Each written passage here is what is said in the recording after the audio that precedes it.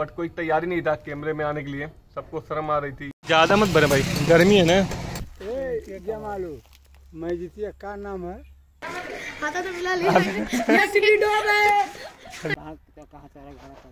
और कुछ भाई कमेंट करते हैं क्या भाई हिंदी में बात किया करो ऐसे भोजपुरी में बात मत किया करो। लेकिन यही फ़ायदा हुआ मुझे यूट्यूब पे आगे।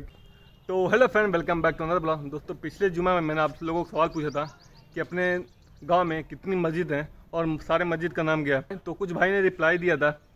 पाँच छः नाम बताए थे और बाकी लोगों को पता नहीं था। तो फ़िलहाल हम लोग चल रहे हैं वही खोज में कि अपने गाँव में कितनी टोटल मस्जिद है और मस्जिदों का नाम क्या है। तो बस कोई और रुकावट ना आए क्योंकि शाम का टाइम है। दिन में काफ़ी ज़्यादा धूप रहती है। तो शाम का टाइम है। बस कोई काम ना मुझे निकले। घर पे अगर कोई काम रहा तो नहीं जा पाऊँगा। तो अगर काम नहीं रहा तो आज ही चलेंगे, सारे मस्जिद का नाम पता करेंगे और टोटल कितनी मस्जिद है, उसका पता लगाएँगे। तो फ़िलहाल चलते हैं। तो जिसका डर था वही हुआ, शाम का टाइम था और अबू के दांत में दर्द हो रहा था। तो जिसकी वजह से मैं डॉक्टर साहब के यहाँ लाया उनको लेने के लिए। आवाज़ काफ़ी ज़्यादा कर रही है। तो फ़िलहाल वो अंदर गए हैं, दवा लेने के लिए। और आगे वाले टायर में हवा नहीं है। फ़िलहाल सामने एक है, हवा भरने वाला, जा रहे हैं हवा भराने के लिए। ज़्यादा मत भरे भाई, गर्मी है ना। हल्का फुल्का भरे। बस बस। तो बहुत जल्दी फुर्सत मिल चुकी है। पैंतालीस मिनट हमारे पास टाइम है।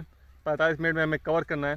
तो मैं ये सोचा था, जो मेरे घर से काफ़ी दूर पर मस्जिद है पहले उसके बारे में जानेंगे। उसके बाद अगर जितने भी कैप्चर होगा, एक दो मस्जिद अगर आज शाम तक कैप्चर होगी, उसको कैप्चर करेंगे, जितनी भी दूर है। उसके बाद कल जो पास में रहेगी, उसको कैप्चर करके फिर वीडियो अपलोड करेंगे। तो अभी जाना पड़ेगा गाँव के सबसे लास्ट वाली मस्जिद पे, जो कि मेरे घर से एक किलोमीटर दूर है, क्योंकि मैं ड्रोन से देखा था, ग्यारह सौ मीटर दूर है, जो कि बंजारा बस्ती में है। तो जि, फ़िलहाल जितना जल्दी हो सके अंधेर से पहले हमें कैप्चर करना तो फ़िलहाल जलते हैं बिना किसी देरी। जीतिया का नाम है? भैया?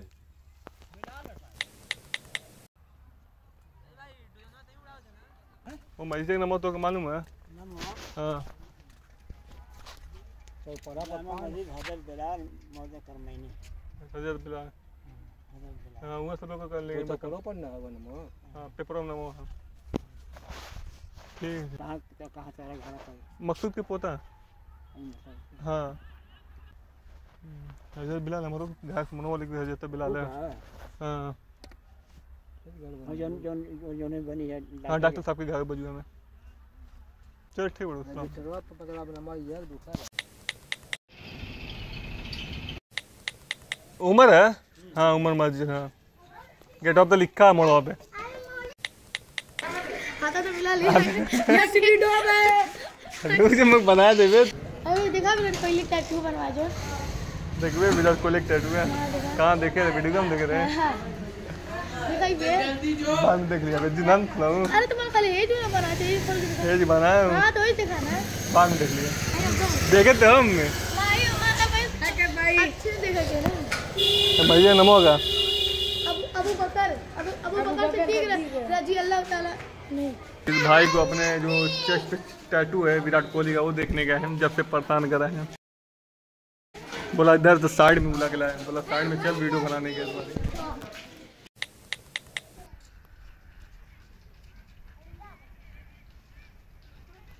तो फ़िलहाल मगरिब के अचानक टाइम हो चुका है तो फ़िलहाल मस्जिद के अनस में नमाज़ पढ़ लेते हैं, उसके बाद चलते हैं। Day two. तो ये नेक्स्ट डे है, कल वहाँ से मगरिब नमाज़ पढ़ के थोड़ा वहाँ पर रुक गए थे, मौलाना थे, उनसे बात करने लगा था। और सिर्फ़ दो ही तीन मस्जिद बची थी जिसको कवर करने में।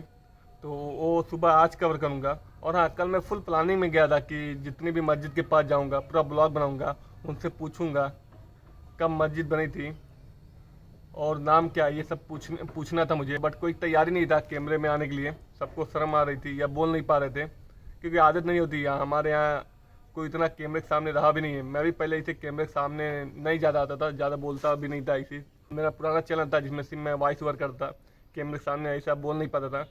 लेकिन यही फ़ायदा हुआ मुझे यूट्यूब पे आके कि दो चार लोगों में मतलब बात भी कर सकता हूँ और कैमरे के सामने भी आके थोड़ा अच्छा फील होता है। कुछ भी बोल सकता हूँ, बात कर सकता हूँ। उतना मुझे मतलब वो मेरा डर निकल चुका है मेरे अंदर से कि लोग क्या कहेंगे।